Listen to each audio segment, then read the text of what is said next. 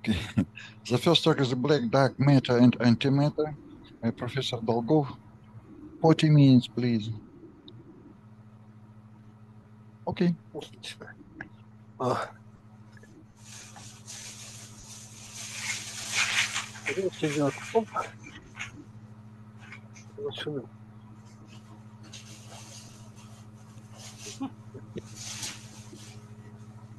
Он Переключается почему-то. Я не понимаю. О,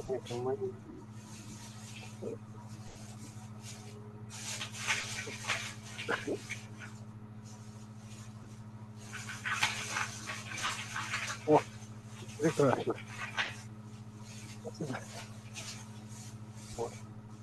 Ну, речь пойдет о так называемой черной темной материи. О, sorry.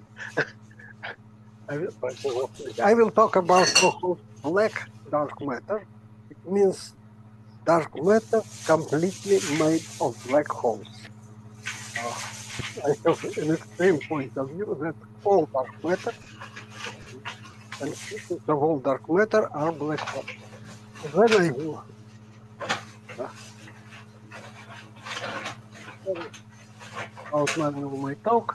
So there will be many popular uh, explanations since I believe not everybody uh, knows much details about the black holes, so do I. And uh, important thing will be mm, discussion of antimatter in the Milky Way. It was a byproduct of our mechanism suggested by Joe Silk of mm, that uh, antimatter could be quite abundant in the Milky Way, and uh, there are two striking predictions, namely, oops, откуда? честно.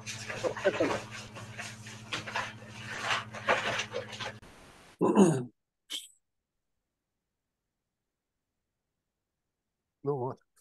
Uh, namely, that the model predicts log normal mass spectrum of primordial black holes and abundant um, antimatter, uh, well, uh, in absolute value values rather small amount, but still there is noticeable amount antimatter in the galaxy. And these two predictions seems to be quite well mm, supported by experiment. Okay. So as it was stressed in previous, not previous, in the morning talk by Elena Arbuzova that nature of dark matter is not yet known and there could be two large classes of dark matter, elementary particles with very huge mass interval, so-called axion-like particle with the masses of about 10 to minus 22 electron volts, up to 10 to power 13 electron volts by, as was stressed by, oops, by Elena. Okay, I, there is another class of objects what I'm going to discuss, namely so-called machos. That is generic form uh, called massive astrophysical compact halo objects. And most probably, most naturally, it is their primordial black holes, though there could be some people advocate idea of topological or topological, not topological solitons. And many others.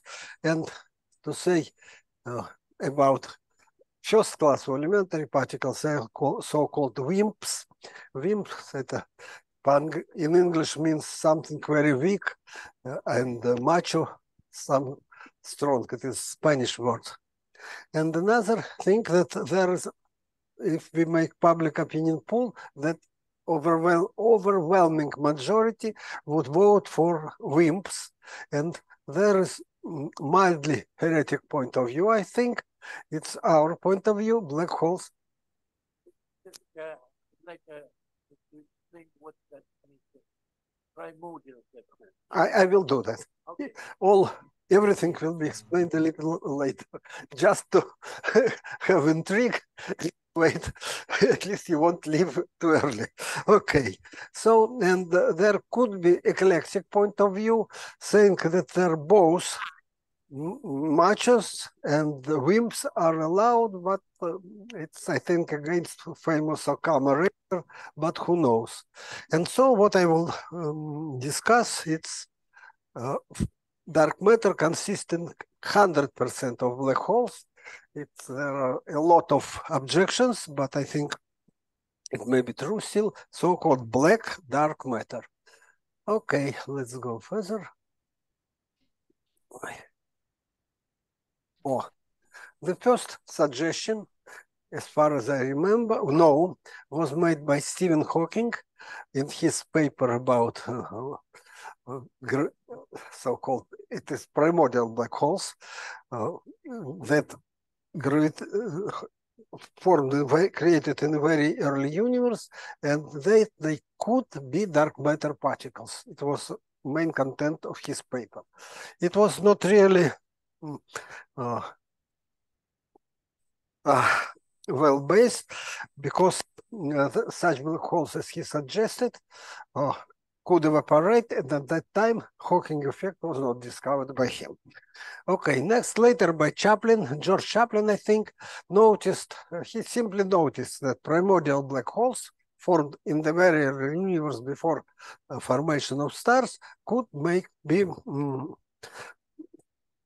dark matter particles. He assumed very simple uh, scale independent spectrum and it is very far from reality. And the maximum mass was at the order of 10 to power 22 grams. And this is good because this uh, mm, range of masses are not, are not forbidden. It's not forbidden. Now, uh, I make slide boasting that the first realistic model of black dark matter and moreover tested by experiment. Experiment i mean observation astronomical observation was our paper with with joe silk abbreviated as dc ds and also next one several years after by um, written together with masahiro kawasaki and nina kevlishvili and uh, in both papers it was first application of inflation to formation of black holes. And this allows to make really huge monsters with very large masses. In our case, it's about 10 solar masses. And if you remember, um, if I remind you of the paper by Chapline, he, he has masses of 10 to power 22 grams. Okay. Oops. Okay, let me see what's next. Ha. Ah. Very good. So it was our, our mm, contribution where we apply inflation, which allows to make really huge black hole masses. It is the famous uh, constraints, summary of constraints in the review, oh, sorry, by uh, Carr Bernard Carr and Florian Kuhnel uh, on possibility of allowed region for the black hole masses. If you see, mm, if you look here, it is masses about around 10 to power 20 grams, absolutely allowed. There is, mm, I would say, conventionally allowed region of 10 solar masses, which I'm especially interested in. And uh, very huge black holes are also allowed by several sets of observations. I skip the explanation of that. Important thing here is that, uh, as mentioned, uh, Ber- Bernard himself, all, all the models, all the limits are model dependent and have really serious caveats, shortcomings, and there could be, uh, well, one could take all these limits uh, with caution.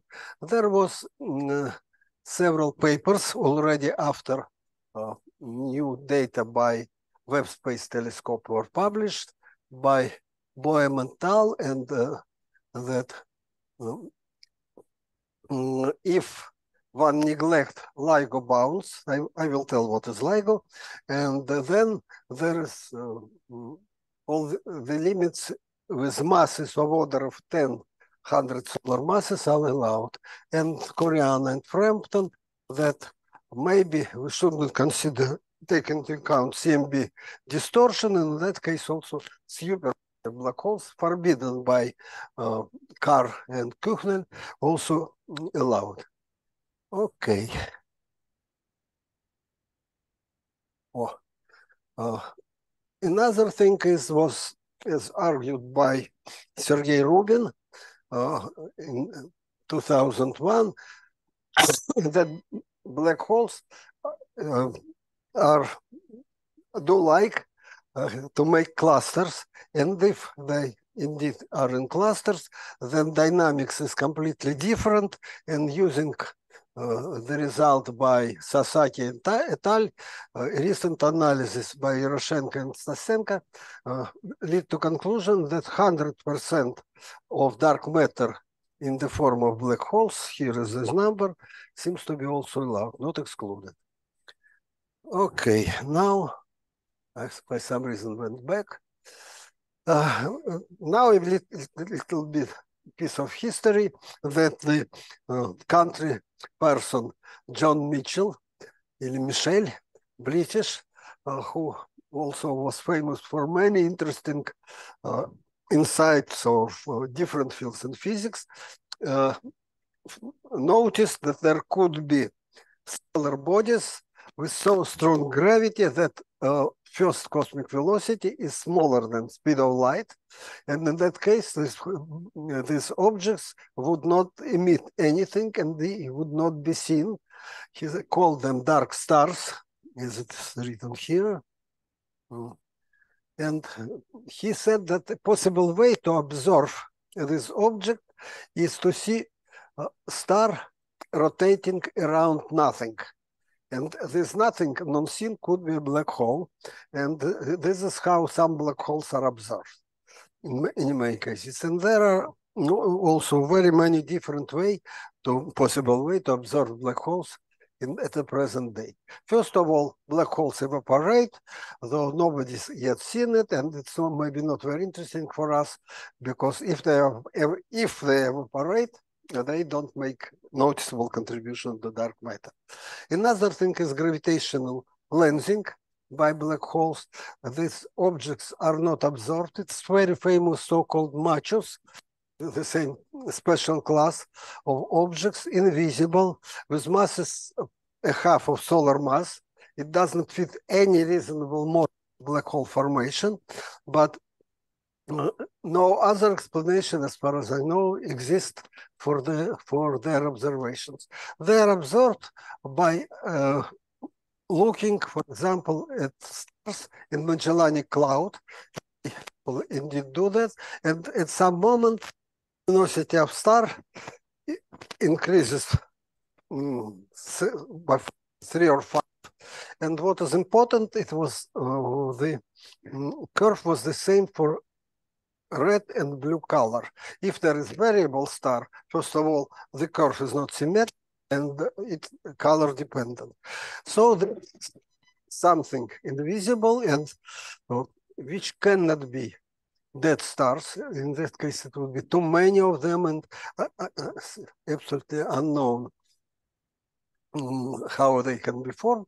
So there's one of the problems which can be explained by primordial origin of those black holes.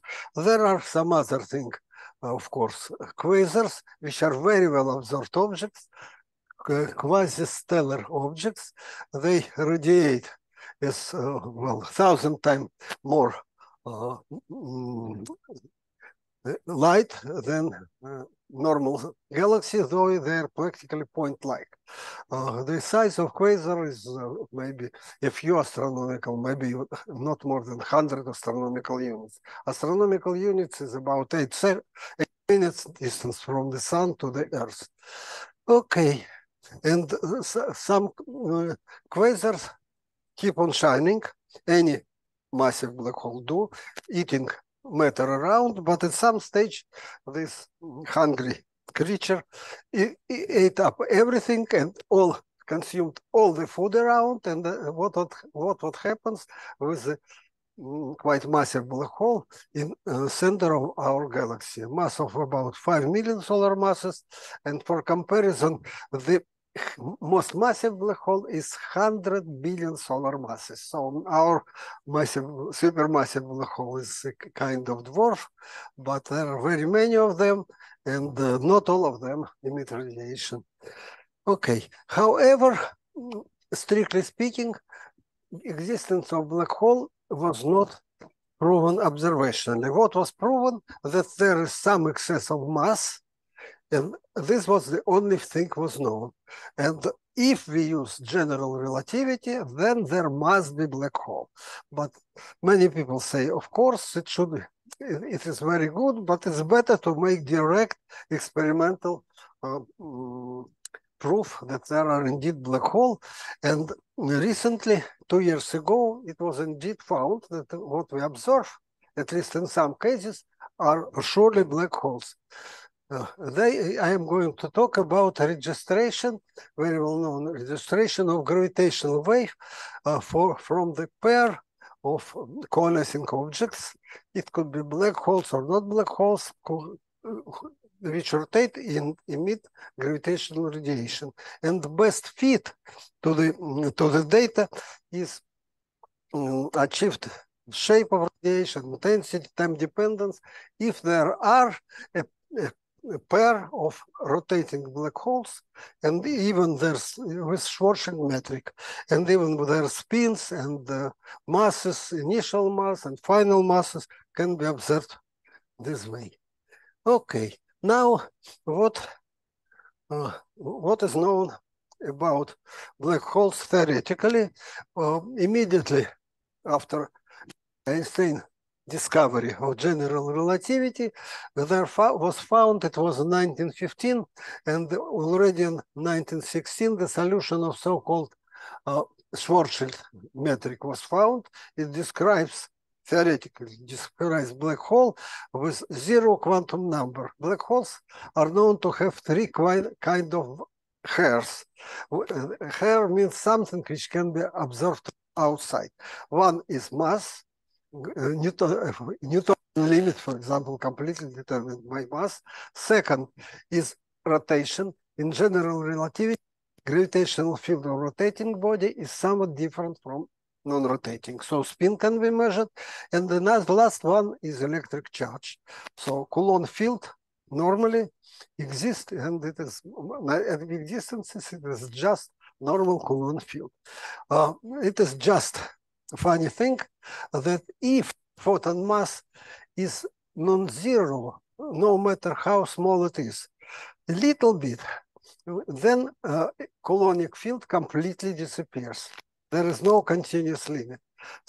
For uh, tiny Coulomb, tiny mass of photon, there is no Coulomb field in stationary solution.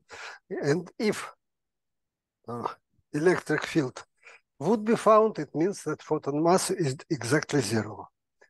The, maybe the best observation on it. There are three types of black holes by formation mechanism. First is well known so-called astrophysical black holes. I will mm, discuss relations between astrophysical and so-called primordial black holes. They are formed by uh, mm, more or less intuitively clear process, then a star exhausted, completely exhausted its fuel, and if it is massive enough, then uh, the process of collapse does not stop at neutron star, but gravity is so strong that it breaks down all Fermi pressure, Fermi repulsion, and turns into black holes. It is so-called astrophysical black holes, and uh, mm, masses of them should be around three solar masses. And what is interesting, uh, uh, below 100 solar masses. I picked out that because probably, presumably, coal with 100 solar mass was discovered uh, a year ago. And uh, from the point of view of standard of it's impossible. To make 100 solar mass black hole, we must have very massive star. And it is uh, enriched by metal. When it collapses, it uh, emitted practically all its mass and comes to uh, the final state with mass considerably smaller than 100 solar masses. But now 100 solar mass is absorbed and uh, there are some, I would say, exotic explanations are suggested. What I, ah, that's what we said. Another one are black holes, massive or super supermassive black holes. They are formed, formed according to the standard law uh, by the um, density accretion to the to galactic center. Assume that there is small excess of density in galactic center. It takes more and more matter, and after a while, it is believed that the black holes with masses of 100 million or even up to 100 billion solar masses is formed. There is one but, uh, namely that necessary time with the standard accretion mechanism is approximately uh, 10 or 100 times longer than in the universe age.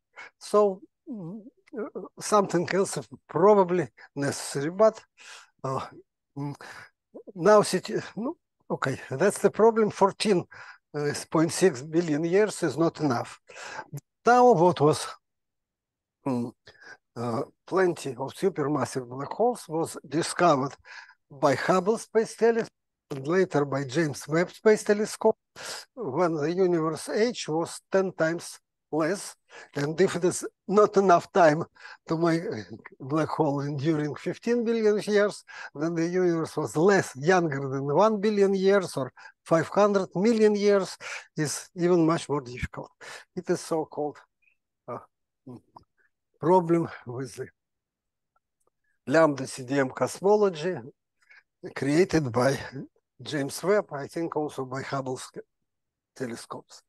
Then there are so-called primordial black holes, what I'm going to talk. These um, such black holes were uh, suggested existence by Zeldovich and Novikov in 66. And the idea was the following. Assume that there is, normally it is assumed that density is more or less homogeneous. And by chance, there could be density excess. And if delta rho over O of order of unity at the uh, so-called cosmological horizon at the scale equal to, roughly speaking, to the universe age. Then it is simple uh, algebra. One can uh, show that this density excess happen to be inside its own Schwarzschild radius. That's how primordial black holes, roughly speaking, are formed. And uh, later, the, uh, this idea was elaborated by Hawking and Carr and Hawking, but first paper was uh, was suggestion suggestion was done by Zeldovich and Novikov. Uh, there is conventional division between black holes, just terminology uh, uh related to their mass. Masses from millions up to 100, in fact, up to infinity, but uh, the most massive was 100 billion masses is uh, called supermassive black holes, abbreviation SMBH. Another so-called intermediate mass black holes from 100 to 100 solar masses, big range, and uh, surprisingly, these black holes mm, nobody expected them for a long time, and now they're uh, uh, found practically everywhere. And so in the last but not the least, so-called solar mass black holes uh, from uh, uh, fraction or maybe solar of solar mass fraction is very difficult, up to 100 solar masses, slightly less than that. 100, as I said, was believed impossible. Now, clever theorists invented many, many ways. Okay, so I repeat that intermediate mass black holes are appearing every day and night, uh, but um, their abundances uh, are supposed to be quite low. Okay. Uh, next thing is uh, about inflation. As I said, normally before uh, people guessed that using inflationary period to make very massive black holes. Uh, black holes, primordial black holes was supposed to be quite light, but uh, there was, I think, in our paper uh, uh with um, Joe Silk, and later was paper by several others. Next, next one, Carr, Gilbert, and Lidsey. Next was Ivanov, Novikov, and Naselsky.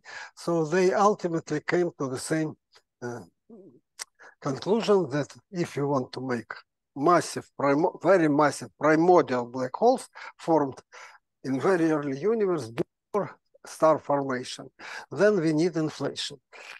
Okay, in all the models except ours, spectrum looks very cumbersome, very difficult to understand, not a no nice analytical expression.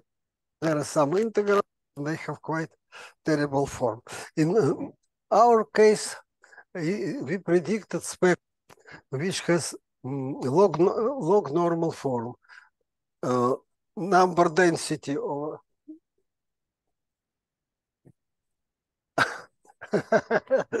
it's slightly different physics, but okay, yeah, but we didn't use Sudakov variables.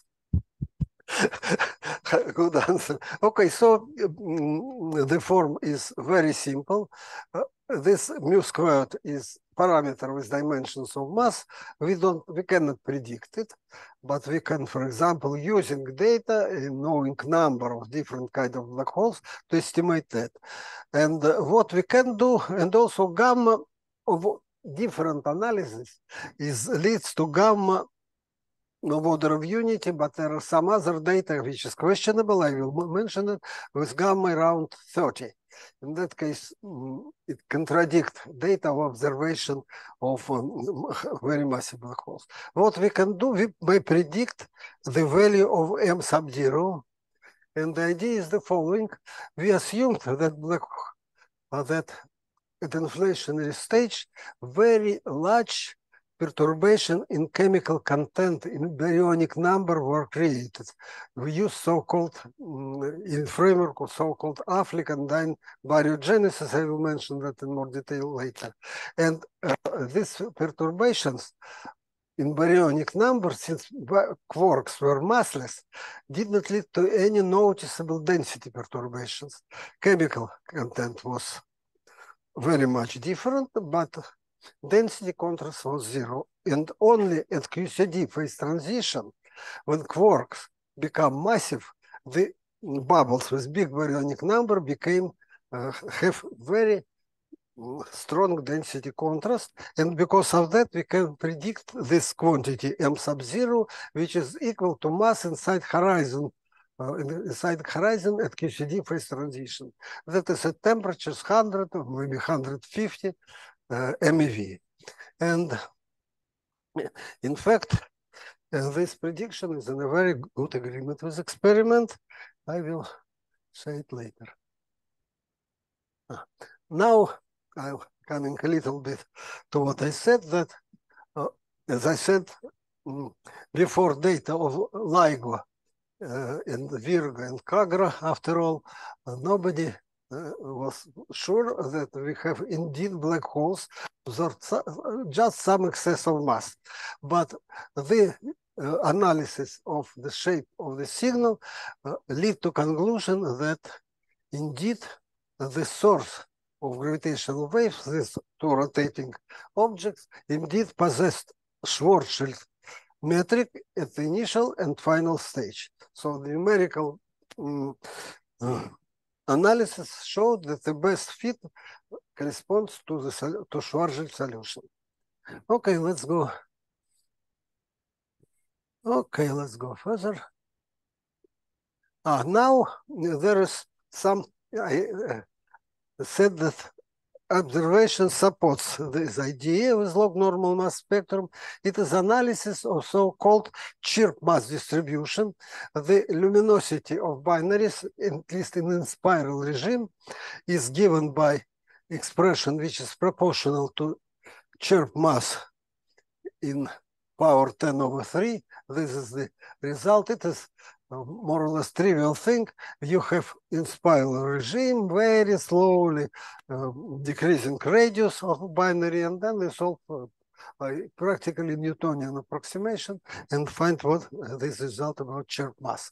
The chirp mass expression is very funny m1 by m2 3 over 5 and m1 plus m2 1 over 5 and distribution on the basis of the LIGO-Virgo data was fa- uh, checked in our paper with many people from uh, ГАИШ, Государ, Г- State Institute, State, Sternberg State Astronomical Institute, and uh, uh, we found that the best fit is obtained with m sub zero equal to 17 solar masses in very good agreement with the prediction of QCD prediction.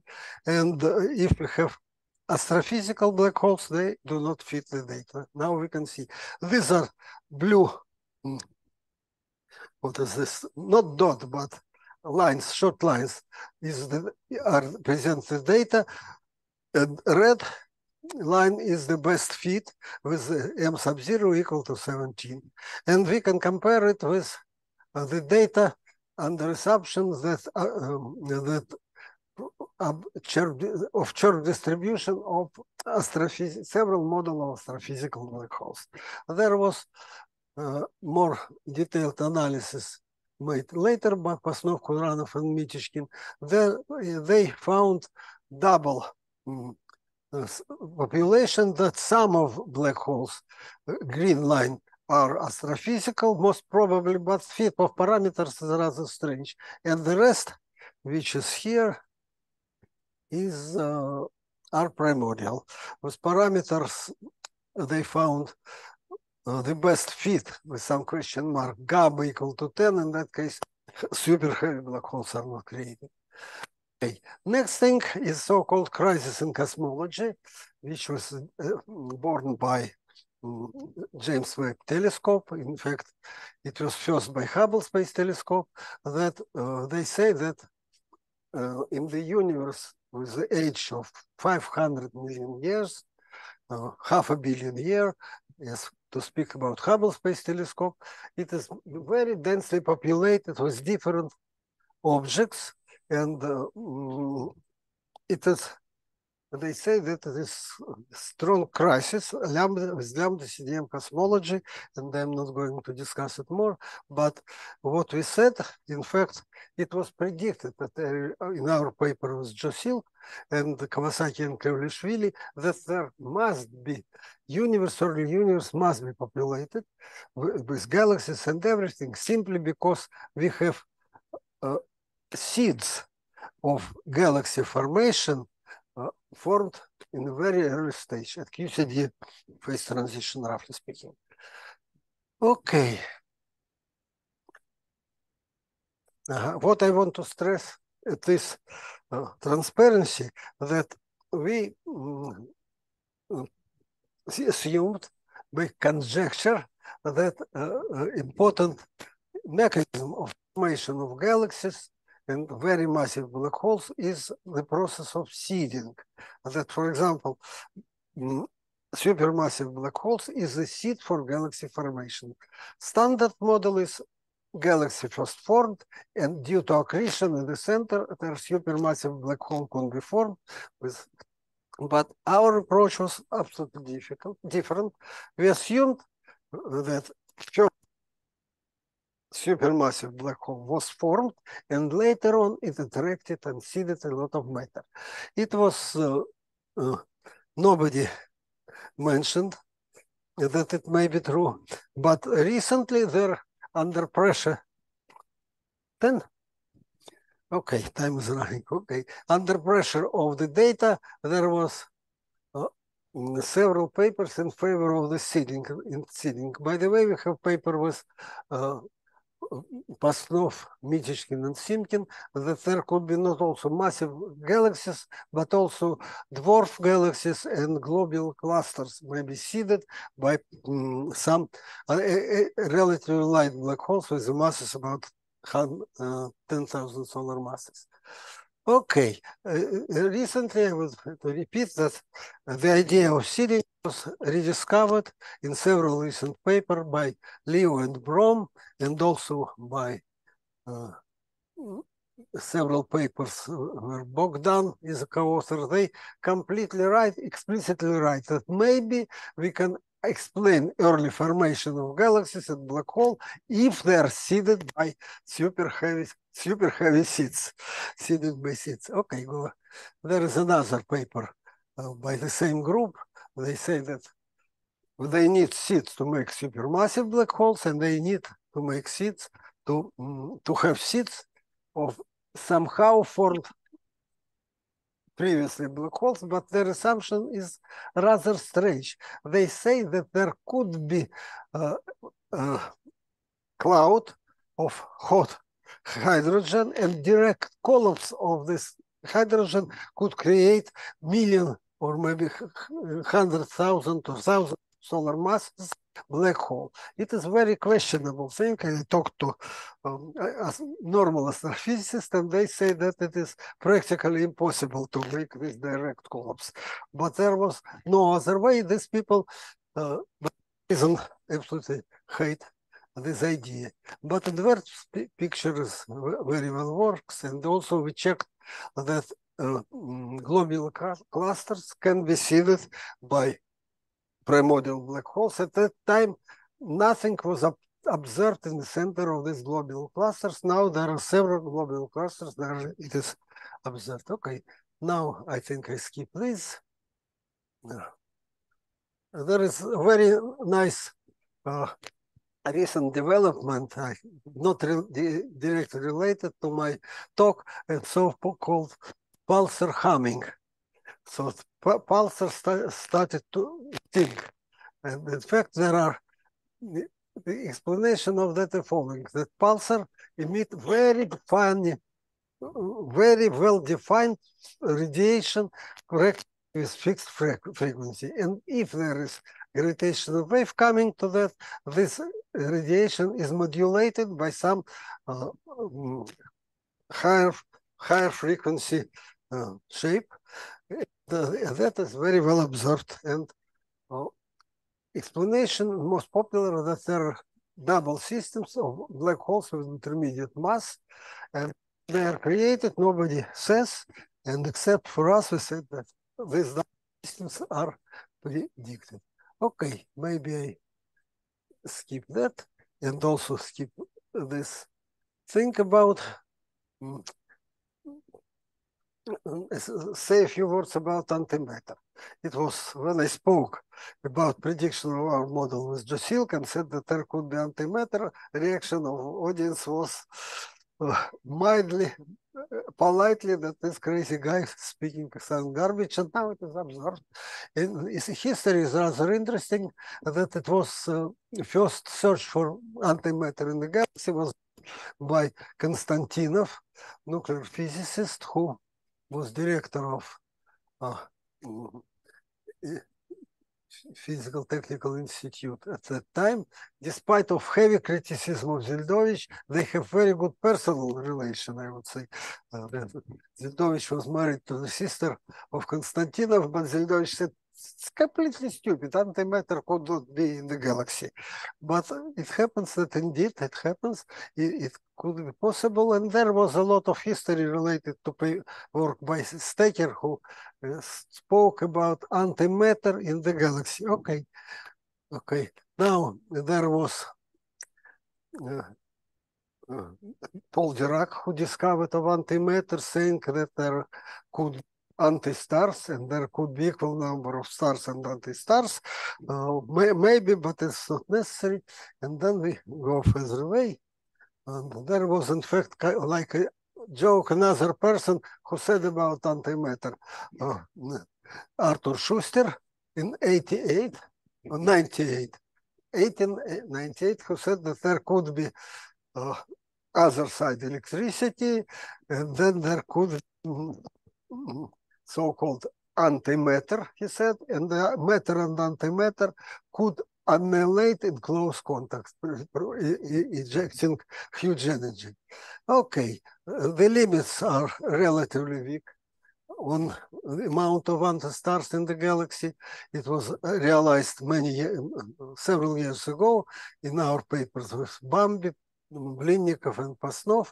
And uh, the bounds are so weak because the annihilation proceeds on the surface of the star because of very small mean free path. And only looking exactly at that stars, you can see excess of radiation. It was exactly what found. First of all, there is huge flux of anti of positrons in the galaxy, but there could be normal, I would say, explanations, though there is some problem with uh, uh, AMS data.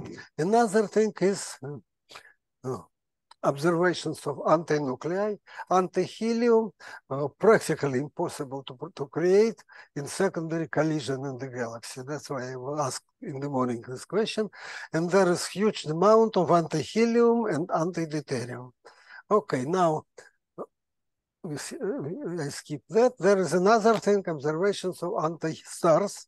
This is a reference to the paper of 2021, and this nice picture about 14 so-called anti-stars were observed by excessive gamma ray radiation from their surface, which more or less corresponds to five uh, to maximum in the range of 500 MeV, which corresponds to P anti-P annihilation. It was our suggestion, uh, paper Bonder, Blinnikov, Bykov, and Postnov, that there could be another process, very nice, namely that proton antiproton do not annihilate like that. They form protonium.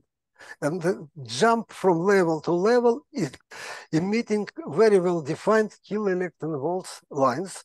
And it is possible in principle, maybe observed by Rosita, or, but at the moment it's not very well. Another thing, uh, the analysis was a recent paper with uh, the same group uh, that observations of um, anti anti anti anti-nuclei best can be explained if there are anti-supernova explosion.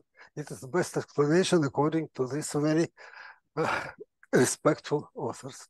Okay, now uh, a few things about construction uh, that we suggested that there exist so-called uh, African kind, Af for Affleck-Dine kind of baryogenesis, namely that there could exist uh, that supersymmetry-like theory, there could be scalar with non-zero baryonic number, a super partner of quarks, and this uh, generic at high energy um, supersymmetry, there exists so-called flat directions in the potential, and this field chi could travel due to quantum fluctuations. Massless field are infrared unstable in de Sitter space-time and reach very large value. And when inflation over, it returns back and always started to rotate about origin and it could create huge baryonic number. What we did, it's um, that we introduce new interaction of high field with inflaton field. Phi uh, is in capital phi is inflaton and phi one is some value which inflaton passes during inflation. It is our, it is fine tuning of the model, and when phi is close to phi one, the gate to flat direction is open.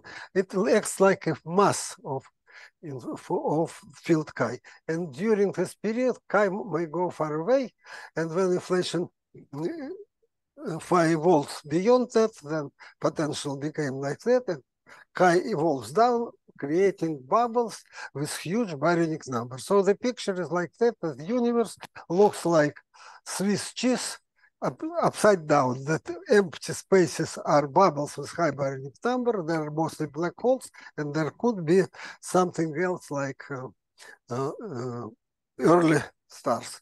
Okay, there are many, many early stars, and I think I skip that. Here is already about Swiss cheese thing. And uh, so results the following that we have in this model log normal mass spectrum, which is very well confirmed by experiment.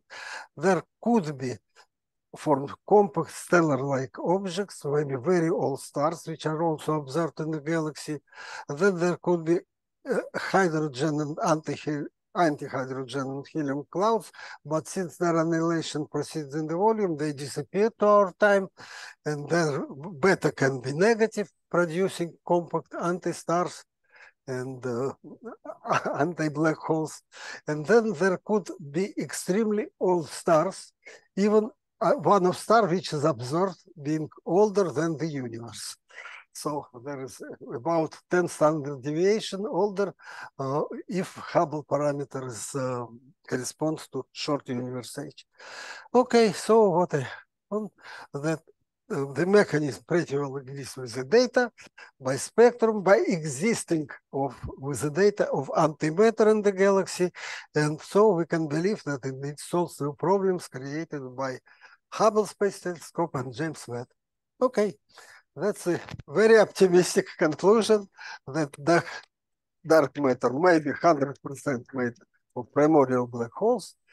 They rescued lambda CDM cosmology and prediction of antimatter, crazy prediction is also confirmed. Thank you. Thank you very much for the very interesting, very impressive talk. So, I'm out of time. Alexander Zakharov, please. Uh, okay, Alexander Dmitrich, do you hear me? Do you hear me? Yeah, we hear you. Ah, okay, fine. It's uh, I was enjoying your talk uh, really, but I would like to to to mention a few things. First, you know, you quoted George Chapline as one of the founder of these studies, but I would like to remind that in 2004, Chapline and his co-authors wrote that black holes do not exist. And so it was all even discussion in nature of this paper. So because it has to be uh, described with the quantum gravity, that is the reason. Second thing, you, you correctly mentioned that we could evaluate only mass inside closed orbits. But a few years ago, gravity collaboration observed motion of blobs near the last stable orbit in the galactic center. And these orbits are consistent with geodesics in Schwarzschild metric. So in this case, it was very strong confirmation that is mm-hmm. really black holes. And also about shadows. About what? Shadows in M87 star in the galactic center. They're consistent with black hole model.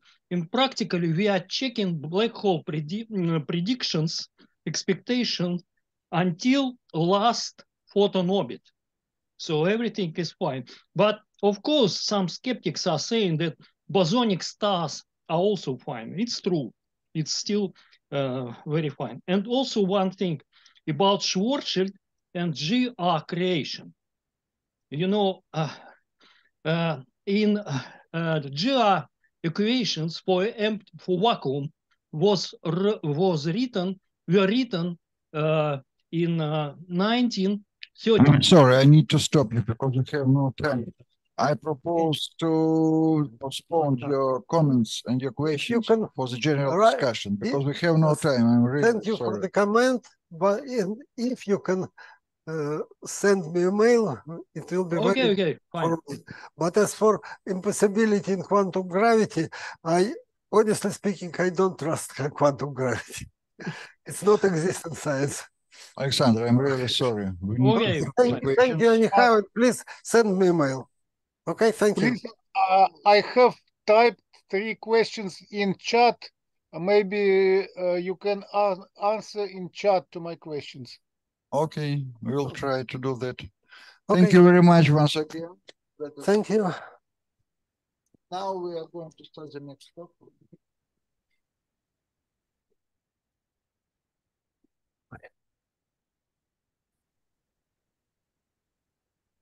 The next talk will be done by Philip Mannheim.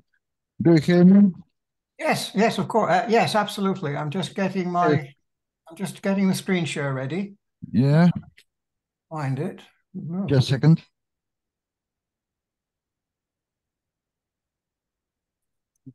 Oh, what happened there? One second.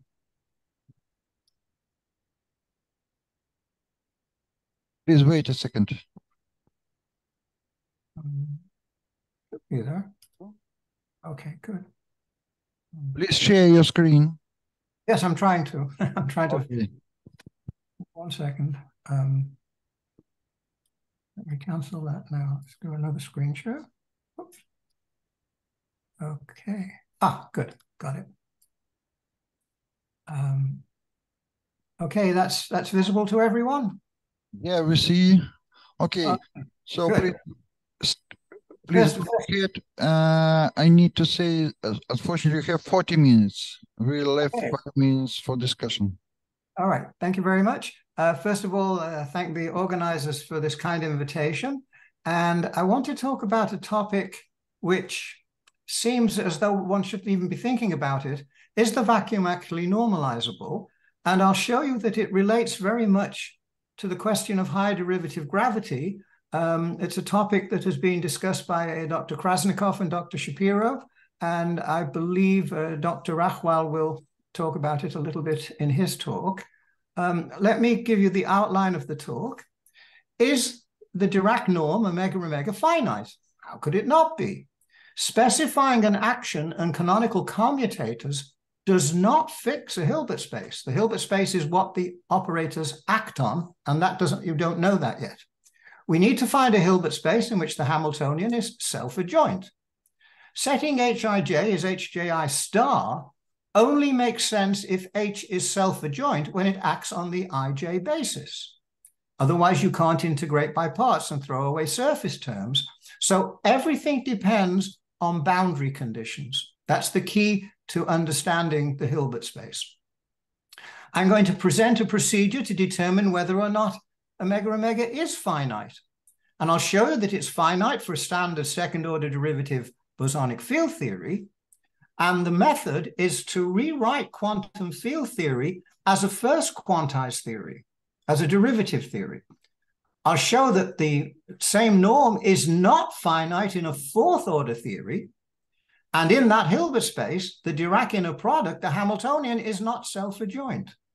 I will show you that there's another norm, which is the overlap of a ket with its CPT conjugate, as opposed to with its Hermitian conjugate, and that is finite. And in that Hilbert space, this norm has no states of negative energy and no states of negative norm. I'll show you that this, uh, this is finite for a fermion theory. I'll discuss the issue from the perspective of path integrals. And somebody mentioned path integrals earlier this morning. The Wick rotation to the Euclidean case and show that in the fourth order theory, the contribution of the Wick rotation contour circle at infinity is not only not zero, it is even infinite. I'll show you how you understand what I'm doing from the perspective of Dyson Wick, and, and at the end, I'll discuss what it has to do with quantum gravity. Okay. There's a hidden assumption in quantum field theory. We take a, a neutral scalar field, very simple action, and a wave equation, a Hamiltonian, and a canonical commutator. We introduce uh, uh, frequency modes, and we can write the um, expand the field in a, in a basis of A's and A daggers, and they obey the conventional delta 3 uh, commutator, and we construct the Hamiltonian as A dagger A plus A A dagger. That's completely conventional. We then introduce a state omega that A annihilates, and we can identify it directly as the ground state of H. However, that does not specify the norm. We don't know that simply from knowing that A annihilates it. Now, let me see why that becomes a relevant question. For the same theory, you introduce a propagator with a delta function. You write it as a Fourier transform, and you'd like to identify it as the expectation value of the time order product in, the, set in that vacuum. You apply the differential operator to it, use the field commutators, and you find that it's not exactly equal to delta 4. It's equal to the matrix element of omega in the vacuum times delta 4. Therefore, you can only identify this quantity as the propagator if you've been able to show that the ground state matrix element is, in fact, finite. Now, the reason why this could even come up as a concern is the propagator that satisfies a differential equation is a C number. When you try to identify it as a matrix element of a quantum field operator, you can't do that. You can't go from a C number to a Q number. You can go from a Q number to a C number. If you know this is the propagator, then of course, then you can establish that that's what it is. But you can't go that you can't construct a quantum Hilbert space by only knowing a, um, some some some some C number quantities. And so there's a jump in our in our assumptions in when we deal with quantum field theory in assuming that we can construct the Hilbert space from the from the structure of the propagator. And of course, that's the whole issue in higher derivative theories, such as using a Pauli-Villars propagator. Precisely, you have the C number and you make a guess as to the to the Q number. And what Carl Bender and I have shown is that you've made in using this form, you've made the wrong guess because you hadn't checked the boundary conditions, and they will show you that those boundary conditions are not finite, and this norm is not finite either. So this is a hidden assumption. So now we have to ask, well, how on earth do we ever determine what is the norm of the vacuum? So to do that, I have to do, I have to go back to quantum mechanics and then generalize it to field theory. In quantum mechanics, life is very simple. The Hamiltonian is p squared plus q squared. The commutator is qp is i. We set p as minus i d by dq, solve the Schrodinger equation, and we get a ground state energy, which is a half, and a wave function, e to the minus q squared over 2, which is nicely uh, well behaved. We go into occupation number space. We write q is a plus a dagger, p is a dagger minus a. We find that a with a dagger is 1, and we introduce the no particle state, that A annihilates, and it also has energy a half, just as we would want it to have. However, that doesn't tell us what the norm of that state is. It doesn't oblige it even to be finite. To fix the norm, we need to relate the ground states, this one and this one, in the two bases. To do that, since A is Q plus IP over root 2, we set Q a vacuum which is Q plus d by dq vacuum equals zero, and find that the overlap of Q with the vacuum is indeed e to the minus Q squared over two. We now calculate the norm. We, introduce, we put it in a complete set of position eigenstates. We've identified Q psi as psi zero, that's psi zero star. That's the integral dq e to the minus Q squared, which is root pi. And we've established that the Dirac norm of the no particle state is finite. Finally, we can divide by pi to the quarter and we normalize it to one. Why were we able to do this? Because we know the form of the wave function. So what's the, what's the message here? The procedure is straightforward and familiar. It works because both the wave function basis and the occupation number basis have something in common. They are both based on an infinite number of degrees of freedom. So in the occupation number space, we can re represent creation annihilation operators as infinite dimensional matrices labeled by vacuum, A dagger vacuum, A dagger squared, and so on. For the wave function basis, we can use a continuous variable that varies between minus infinity and infinity. The two sets of bases are both infinite dimensional. One is discrete and the other is continuous.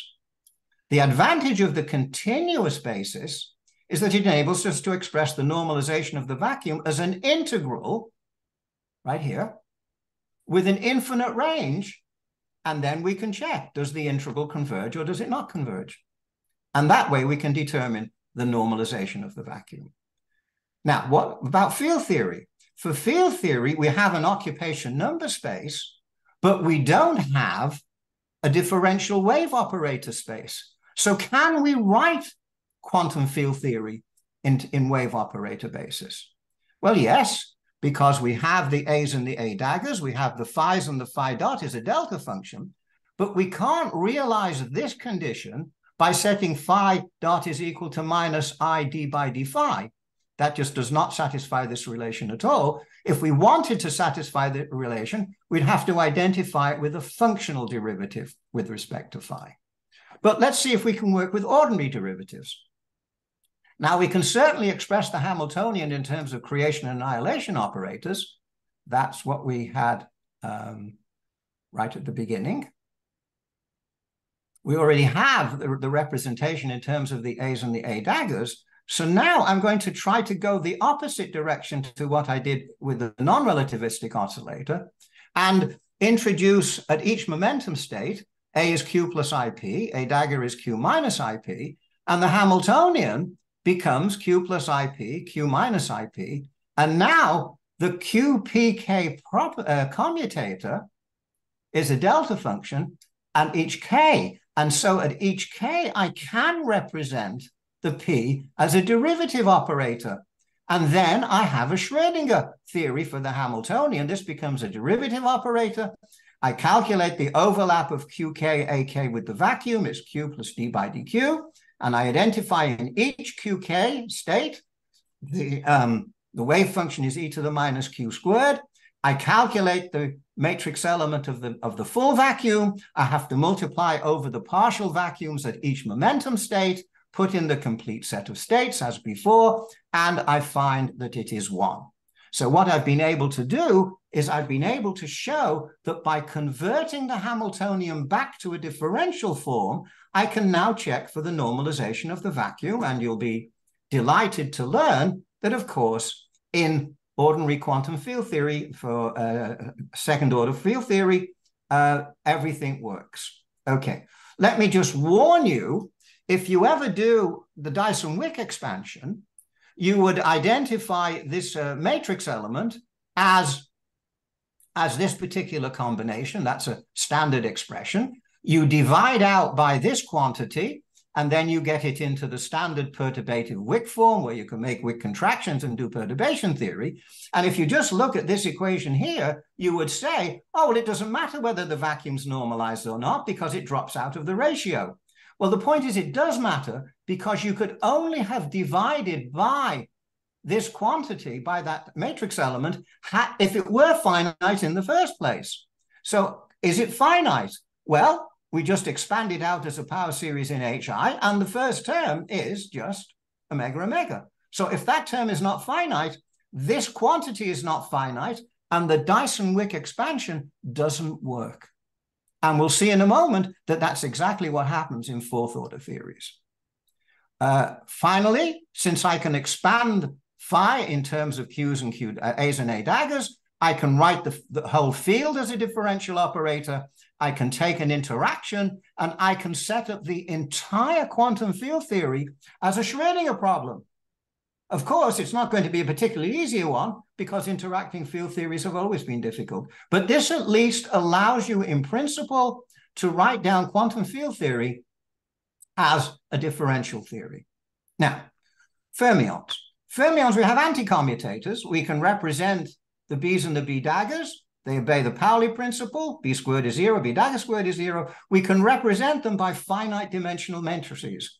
So for fermions, we have finite dimensional matrices and there's no issue with the normalization of the vacuum. The problem only appears for the, for the, for the scalar, for the bosonic theories, because we have to go to an infinite number of degrees of freedom. We, we the A daggers keep on uh, uh, um, creating states all the way up to infinity. So now we've seen one theory where uh, where life is nice. And now we're going to do a theory where life is not so nice. This is a fourth order quantum field theory. It's got a, a mass term, a kinetic energy, and it's got an acceleration term. It has a propagator that obeys a fourth order equation. We can write the propagator in this very famous form where it has this famous minus sign, and so it has all kinds of problems.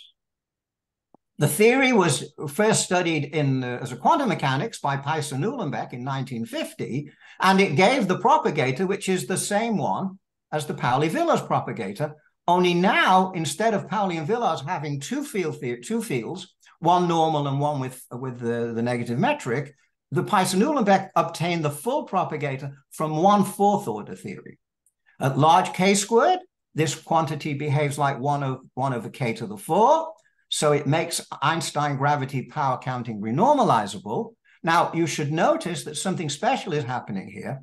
In the standard perturbative approach to quantum Einstein gravity, the propagator is 1 over k squared plus 1 over k squared, not minus 1 over k squared. You never generate the minus sign in radiative corrections. And so Einstein gravity is never renormalizable on its own. This theory, as it stands, is renormalizable. We also note that all in the complex K0 plane, all the poles lie on the real axis. So whatever is the Hamiltonian that goes with this theory, its energy eigenvalues are all real. The standard I epsilon prescription that I use here causes positive energies to propagate forward in time and negative energies to propagate backward in time. So the energy spectrum is bounded from below. And with this I epsilon prescription, there is no Ostrogradsky type instability that would otherwise occur in a higher derivative theory. Some of the pole residues are negative. That's the unitarity violating negative norm ghost problem. If we insert some n1, n1 minus some n2, n2 equals i into this propagator, we obtain n1 phi omega squared minus n2 phi omega squared and generate the minus sign. And so it looks like the minus sign is coming from a closure relation with negative uh, indefinite metric.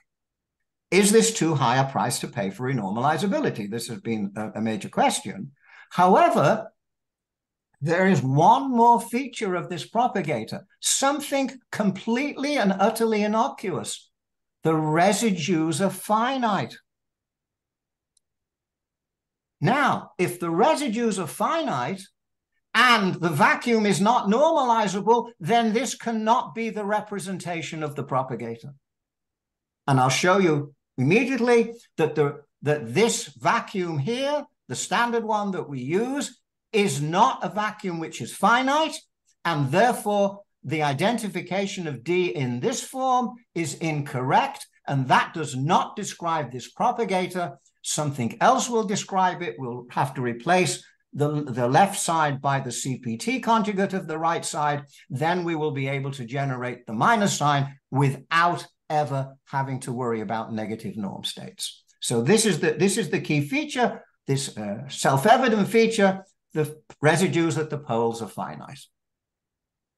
So I can work through, I, I, can work through the theory, I can quantize it, the, the second order theory or the fourth order theory, I can quantize it, I can calculate the propagator, and I can show that it satisfies the differential equation only if vacuum vacuum is normalizable. So I need to know, is it normalizable? I have to find out. So what I do is I first of all write the field theory in terms of creation annihilation operators. It's a fourth order theory, so I have two sets of uh, creation annihilation operators, calculate the Hamiltonian, use the standard commutation relations, and I find A dagger A plus AA dagger minus A2 dagger. So there's a plus and a minus sign, and that looks like I'm going to have trouble with negative energies. We'll see in a moment that that's not going to be the case because this second minus sign means that that minus sign and that minus sign um, compensate each other, which means the energy eigenspectrum is still uh, bounded from below, but we still have to worry about the negative sign in that commutator. So let me go down now to the quantum mechanics. So the trick we, have seen, I first of all go into the quantum mechanics. I then rewrite the quantum field theory exactly the same way I wrote the quantum mechanics and then I can check for the normalization of the vacuum. So Pais-Uhlenbeck introduced the Pais-Uhlenbeck operator, z squared, z dot squared, and z double dot squared, equation of motion, z triple dot plus omega 1 squared omega 2 z double dot plus omega 1 omega 2 z squared is zero. What is this?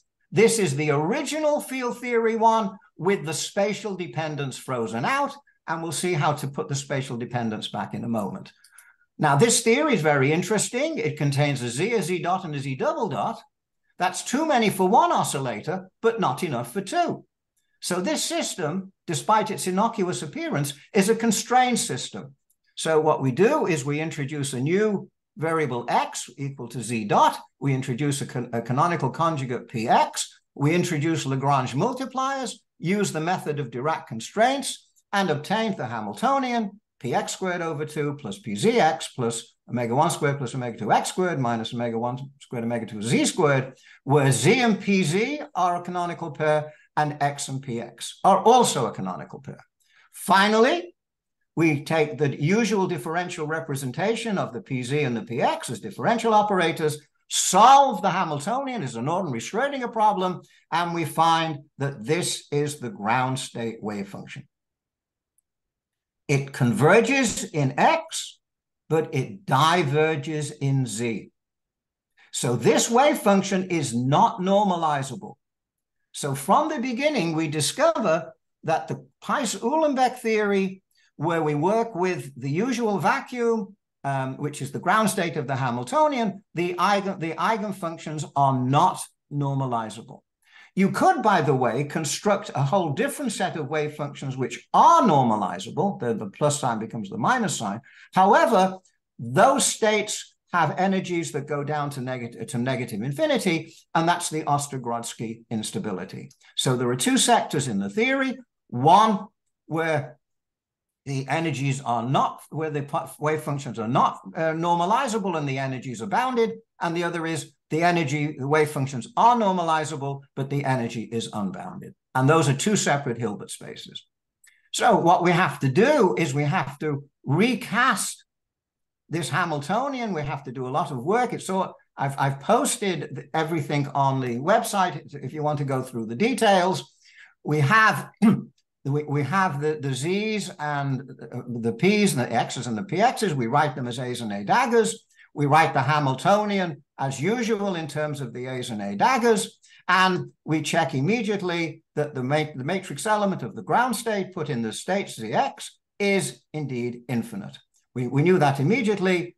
Um, this is the wave function. Um, the wave function is not normalizable. And now we go to construct the field theory vacuum matrix element and we find that it is infinite because the wave function was not normalizable.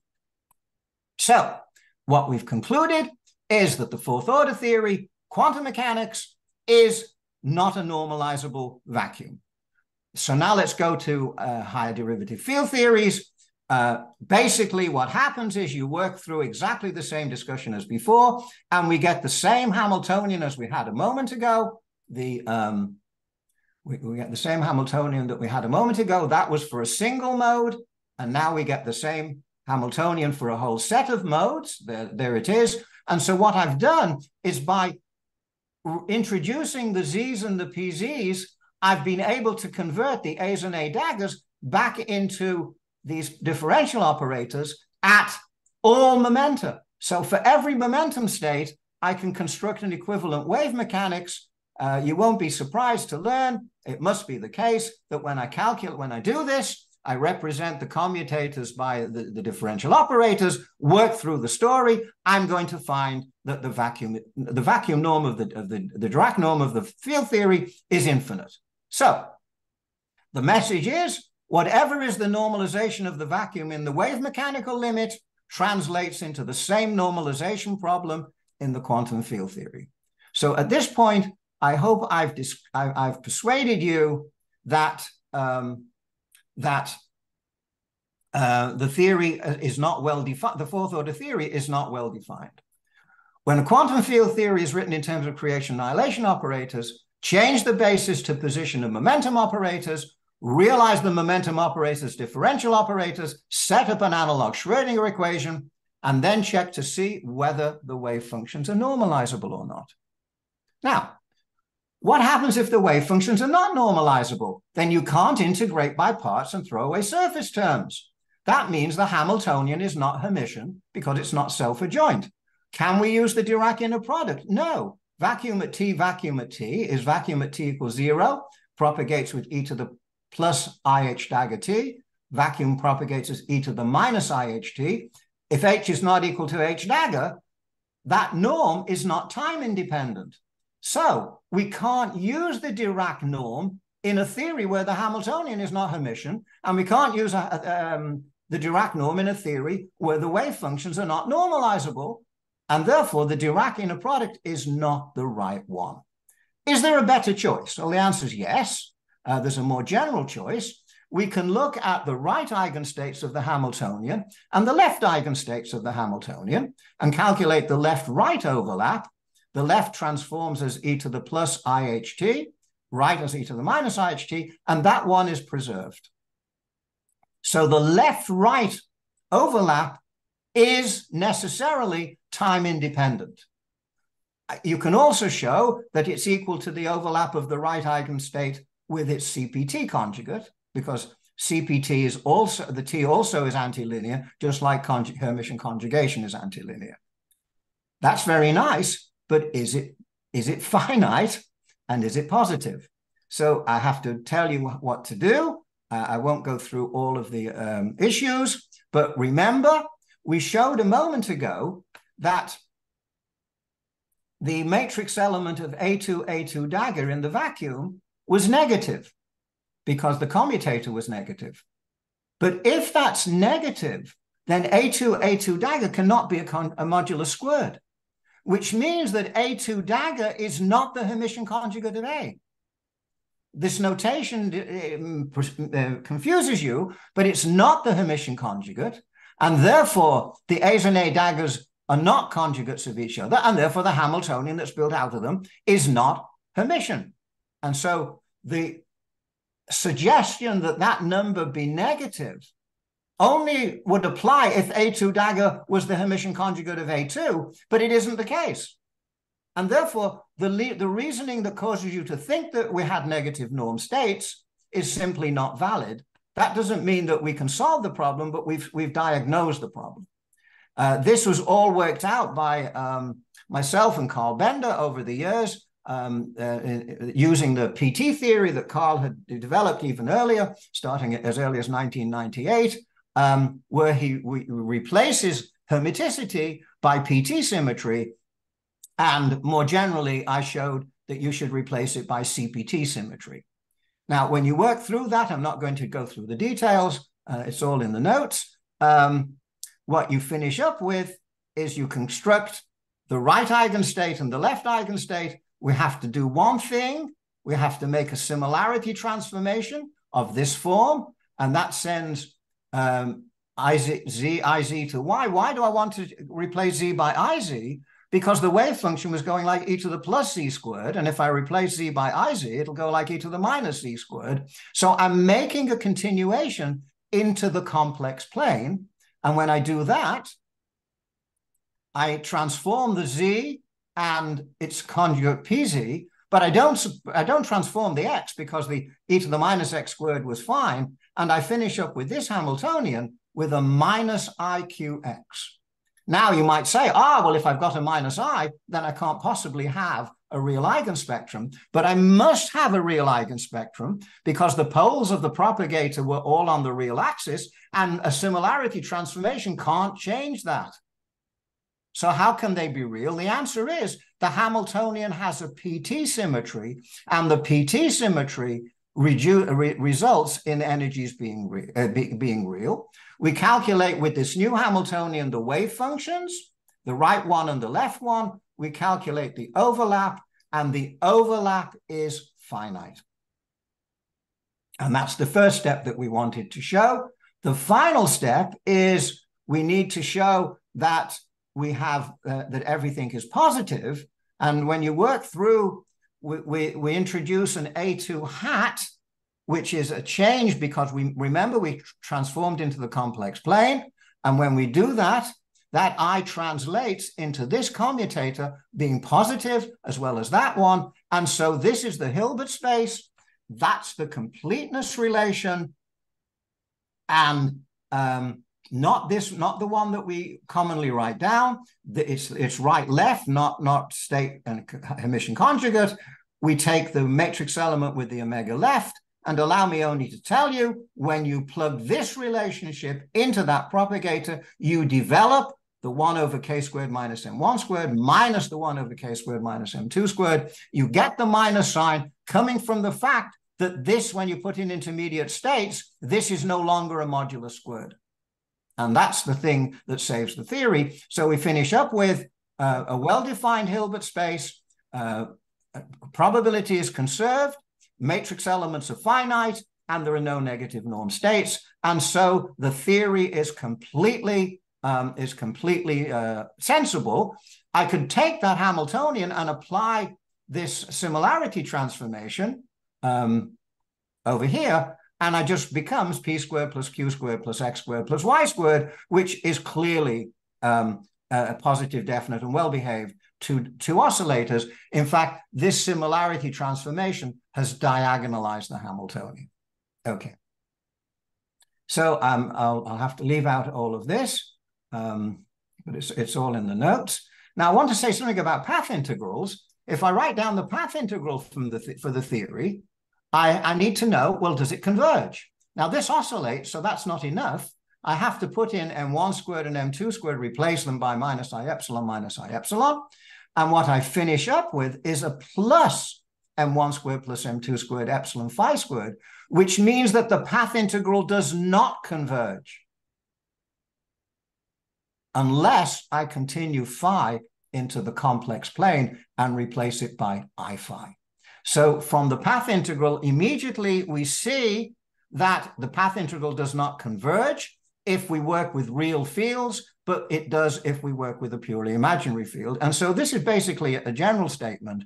If you have a path into um, a Lorentzian path integral and it live and it exists with real fields, the underlying theory is Hermitian and the norm is the standard Dirac norm. If it doesn't exist with real fields, but you can continue into the complex plane to find in the complex plane that it does exist, then the Hamiltonian will still have the real eigenvalues as before, but now the norm will not be the, the Dirac norm, it will be the CPT theory norm. Okay. Now, what's very interesting about this theory is that when you go into the Euclidean time in time zone, what you find is that the Euclidean path integral exists. And yet I just showed you a moment ago with real fields, the Euclidean path integral exists. But the uh, but the Lorentzian one did not. What that meant in making the Wick rotation, usually we replace the horizontal piece by the vertical piece, but now we see something new. The contribution on the circle is infinite. It can't be ignored because you finish up with a finite answer. Start you start with an integral on the real axis, which is infinite, and a, an integral on the imaginary axis, which is finite, which means that the contour contribution can't be can't be neglected, and therefore this is a warning ab about Euclidean uh, path integral field theory. You simply have to be able to make the Wick rotation and determine whether or not the, the Minkowski theory is sensible. Okay, now then, the very last remark. What does this mean for um, for quantum gravity? The, let me take the standard Einstein theory and add on the Ricci scalar squared uh, theory. I can work through the algebra. I find that the equation of motion is a g mu nu, which is the standard. I'm sorry, I need to remind you that you have five minutes. That's perfect. Uh, it's the it's the standard um, uh, Einstein tensor. The v mu nu is a higher derivative function of the Ricci scalar. We can expand around flat just to see what the first order perturbation looks like. We find that it uh, that we take the trace to make like uh, to get rid of the indices, and we find that the trace obeys a one over k squared minus a one over k squared minus m squared, which we initially would look at and say we have renormalizability, but we've sacrificed unitarity. But now we know that's not the correct procedure we have to go into the complex plane. We can then re reconstruct a new vacuum, which uh, gives us a new inner product where the theory is well behaved. And then we can have this quantity be finite. Now, what this means is that you will see lots of discussion in the literature about saying, well, I can throw this term away when k squared is very small, and then I can treat the 1 over k squared as an effective theory. But that's not true because even that one is telling you that you can't use the standard um, Dyson-Wick expansion, which is what people use. You have to change the vacuum. You have to continue even the even the piece that you like.